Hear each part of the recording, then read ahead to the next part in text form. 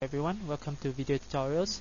Now I'm going to show you how to create and use styles in your page. Okay, so here I've already created a page here. This line and this line are both using heading 2 or H2. Okay, so I'm going to create a style. So let's open the style panel. Click on the plus, click on the new st CSS style rule button. And I'm going to select tag, okay, to redefine the look of a specific tag.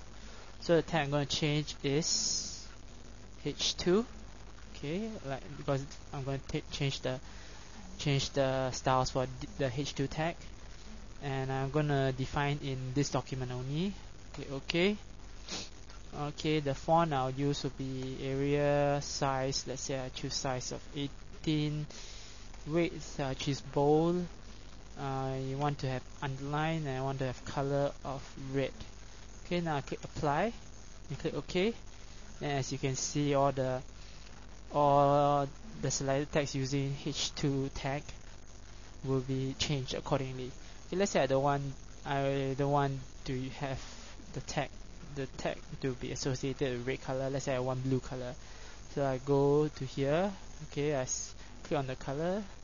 I change the color let's say to blue. Okay so as you can see it will immediately change the color from red to blue. Okay? Because the style has been changed. Okay thank you very much for listening